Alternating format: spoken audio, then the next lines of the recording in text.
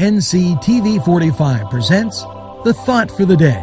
Monday through Friday, we give you a message of spirituality and inspiration. Hello, my friends.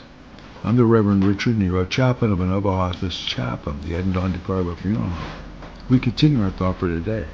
Today, John 3 and 17.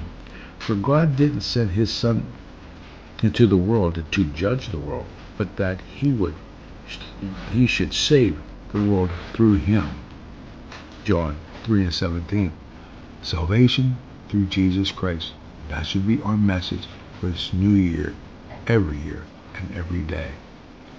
So be blessed, be safe, and stay.